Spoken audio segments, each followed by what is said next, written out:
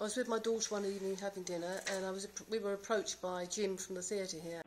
Would you like to come along and help us here? We we need a, a painter because our our uh, back, backdrop painter is, is not is not well, not able to do it.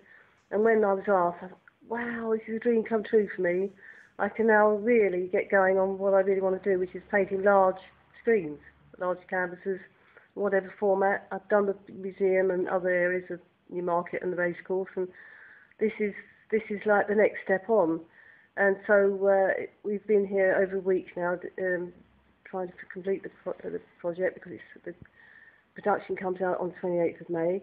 But I've um, just been I've loved every minute of it, and I can see so much potential in actually being here and painting here and being part of this amazing setup. And my daughter has fallen in love with the whole thing as well, and she's painting the, the second backdrop.